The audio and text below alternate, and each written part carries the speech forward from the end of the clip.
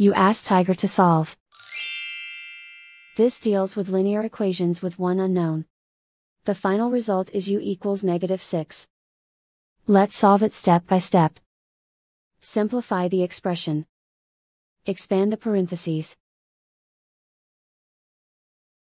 Simplify the arithmetic.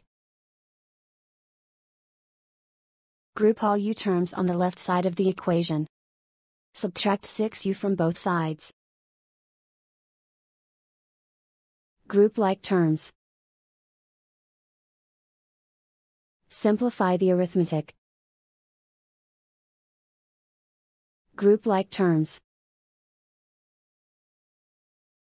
Simplify the arithmetic. Group all constants on the right side of the equation. Add 12 to both sides. Simplify the arithmetic.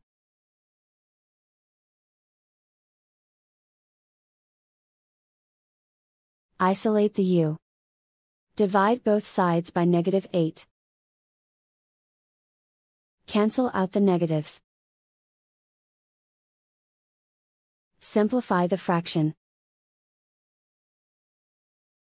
Move the negative sign from the denominator to the numerator.